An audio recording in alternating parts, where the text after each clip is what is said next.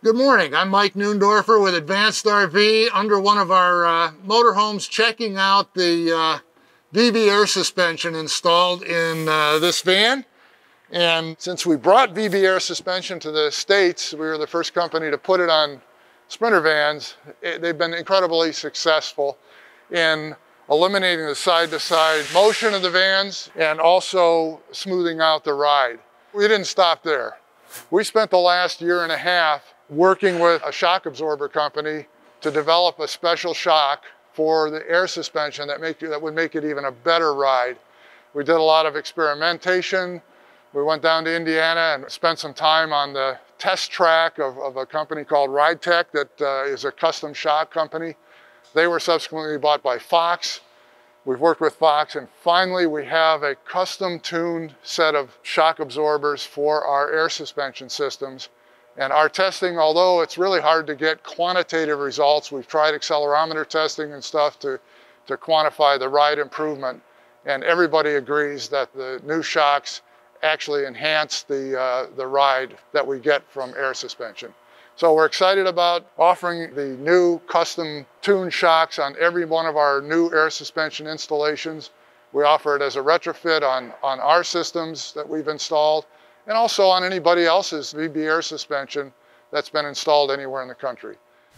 My name is Justin Stang. I'm a service technician here at Advanced RV. I do uh, upfits and I also do production installs on uh, VB air suspensions and the EMP kits for the builds that we do here.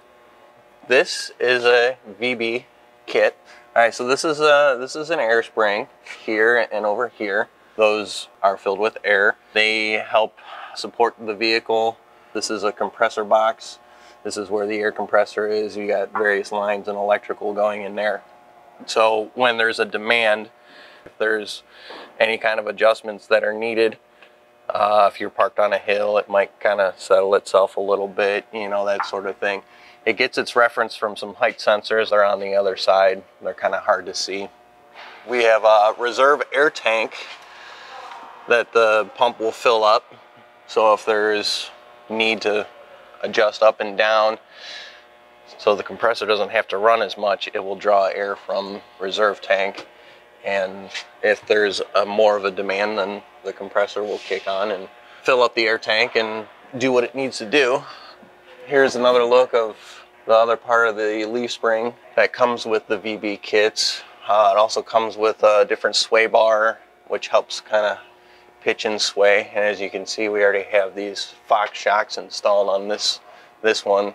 We did a test scenario where we drove and shot a video with the VB shocks on, and then we did the same same tests with the Fox shocks and did a side-by-side comparison. I, I was in the van driving.